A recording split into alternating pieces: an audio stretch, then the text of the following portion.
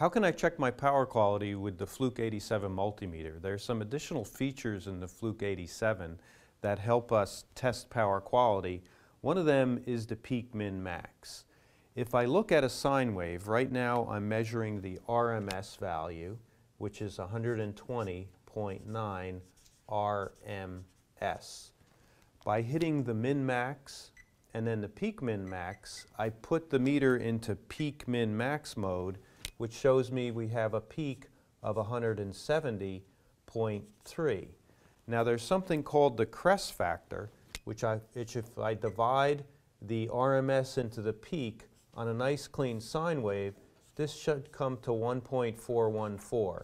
Now we can all divide 120.9 into 170.3 and come up with 1.414. Yeah, maybe if we're Rain Man.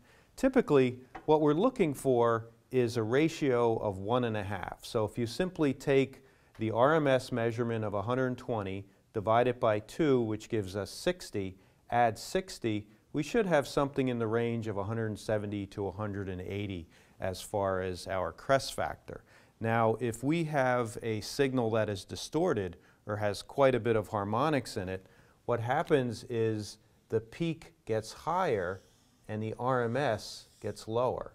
So when I look at this ratio, I will start to see a ratio that will be of equal to 2, equal to 3, maybe equal to 4.